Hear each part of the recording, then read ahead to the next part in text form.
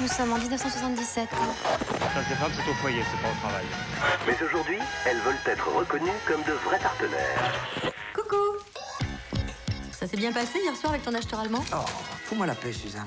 Si tu veux mon avis. Ton avis, quel avis? Tu as un avis Mais Robert... Ce que je te demande, c'est de partager le mien. Sinon, tout le reste, c'est des paroles et de l'énergie perdue. Allez, tais-toi un peu. Ma pauvre maman, tu ne comprends rien.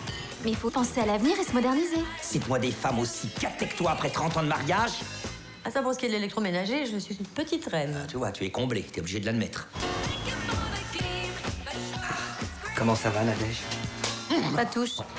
Madame, c'est horrible. Une grève? Oui. À défaut de négociations rapidement entamées, il y aura un durcissement de la grève.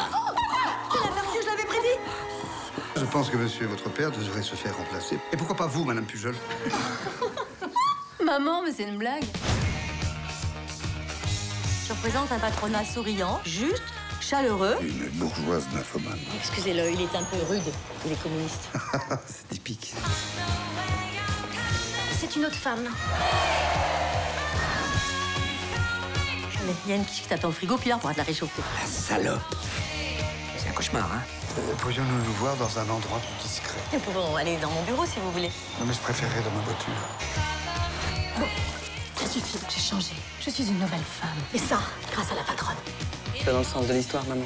Partout, les femmes prennent le pouvoir. Oh, mais ta gueule, toi Qui c'est le patron ici, nom de Dieu? Moi. Non, Si je comprends bien, c'est moi maintenant la potiche. En quelque sorte. Et j'ai pas dit mon dernier mot.